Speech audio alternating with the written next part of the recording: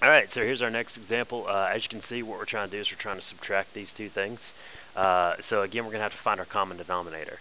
My suggestion is go ahead and factor everything first when you don't have a common denominator because sometimes that will break it down into its parts and it's easier to see uh, in terms of your pieces here. So 2x minus 3 is a linear binomial. There is no common factor.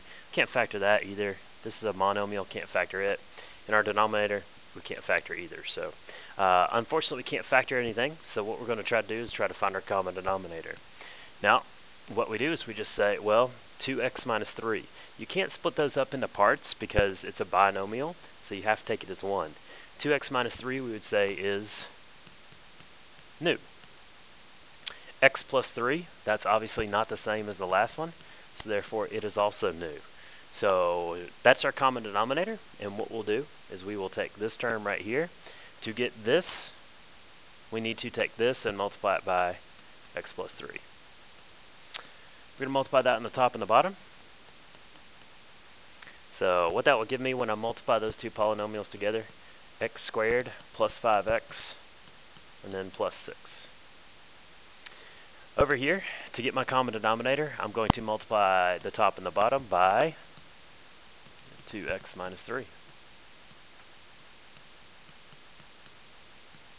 Again, probably going to be one of the most commonly missed problems on something like this.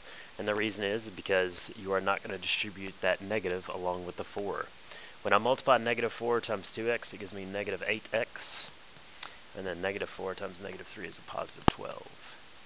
Now what I can do is I can go ahead and combine my terms in my numerator.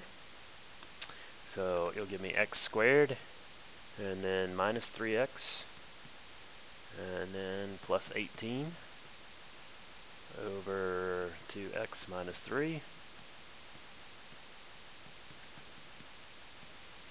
should get a little something like this. Now what we need to do is make sure we can't simplify the fraction. Now if this were something and, and we knew, you know, looking at this like uh, you know, if this were a 25, you'd be looking at getting like 1 and 25 or 5 and 5 or something like that. And there's no way that would cancel with something down here. But uh, in a problem like this, 18, I know factors of 18, 1, 18, 2, and 9, 3 and 6. If 3 and 6 come up, I'm in, in trouble because I could possibly cancel it. So uh, we're going to need to try to actually factor it.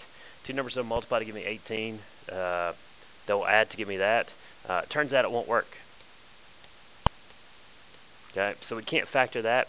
If this, however, had been minus, we do know two factors of 18 whose difference would be 3. But because this is plus, we don't know two factors of 18 whose sum is negative 3.